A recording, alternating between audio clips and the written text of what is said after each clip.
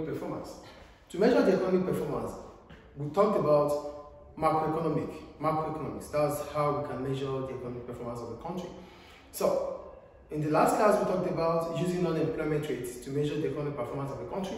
We talked about economic growth to measure the economic performance of a country. So today, we want to talk about inflation and balance of payments. So we start with inflation. What is inflation? Inflation is a persistent rise in the price of goods or services and services within an economy. So when the price of goods and services continue to increase in an economy, then the economy is witnessing inflation. So here inflation, it is a persistent rise in the price of goods and services in the economy. So when, when we talk about inflation, inflation can be positive, it can be negative. When inflation is positive, it means prices continue to rise over years within that economy. And when we have a negative rate of inflation, it means prices start falling. So definitely we're talking about, let's say we have a 5%, a 5% increase here, plus 5%. That is a positive one. Then we have, let's say for, for last, for 2014, let's say for 2014, it was 5% inflation rate.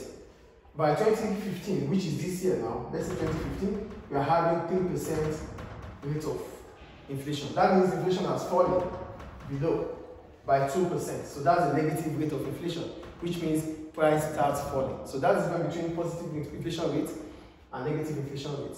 Positive inflation rate means plus. That means prices continue to rise. And negative means price starts falling. So we go to the impacts of inflation in an economy. The first one, it reduces the value of what savings can buy. So when we talk about the values of what savings can buy, we're talking about the amount of money you have saved in the bank. With inflation rate, the value of money drops. That is what it means. So whatever amount of money you have saved in the bank, based on the fact that there's inflation rates in the country, that amount of money would not be able to buy what it used to buy. So if you have, if you have saved $5,000 in the bank, so the worth of $5,000, now that you saved it in the bank, with inflation rate, what $5,000 will buy this year, based on an increase in inflation rate, it will not be able to buy it with the year that there's inflation. So that's why they said the value of money, it reduces the value of savings. So when we talk about the value of savings here, we're talking about the value of money itself. So inflation reduces the value of money, which is not good for the economy. Two, it disturbs knowledge of prices in the market as consumers want to know the ideal price for certain items. With inflation rate, especially high inflation rate, it becomes difficult for consumers to know the reasonable price in the market because every now and then prices continue to rise. So you go to the market today, it's five dollars. You go tomorrow, it is six dollars. So after tomorrow, it is six point five. So you won't be able to know the reasonable price to buy goods or services within an economy, which is not good. So note, inflation reaching five percent is considered high according to economists. Inflation within below five percent is still reasonable. But if it is beyond 5%, that's the, the 5% barrier. If it is above the 5%, then the economy is witnessing high inflation rates, which is a problem. Then go to deflation. Inflation, the, the opposite of inflation is deflation. So what is deflation? Deflation is the persistent fall in the price of goods and services in an economy.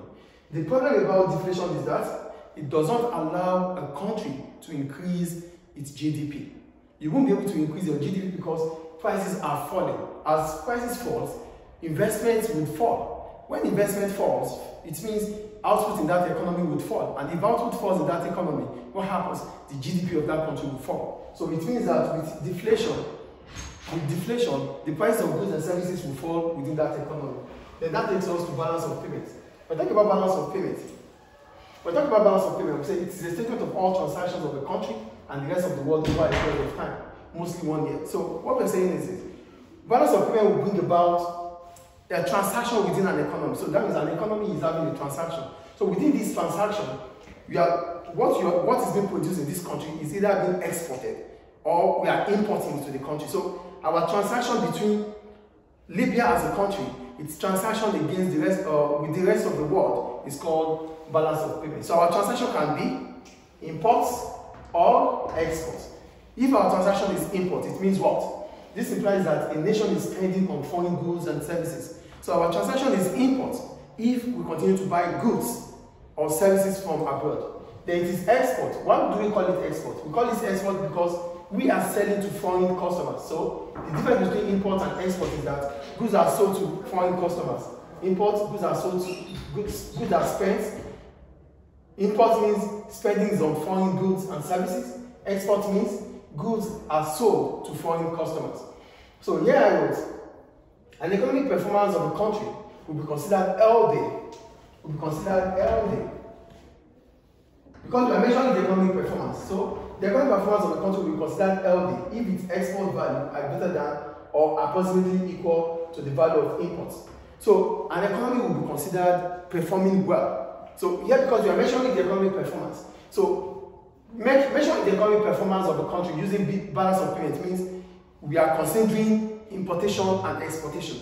So if our export exceeds imports or our export is equal or approximately to import, it means our country is doing well. That means the economic performance of that country is healthy. In contrast, if the value of import exceeds export, then the country might be in difficulty.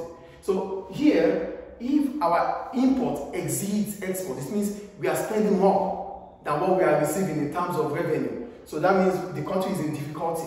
When this happens, to stop this, the country might reduce borrowing, or the country might increase borrowing or reduce savings from abroad. So to reduce this, that means to, to make your export to exceed imports, you have to start investing in capital goods.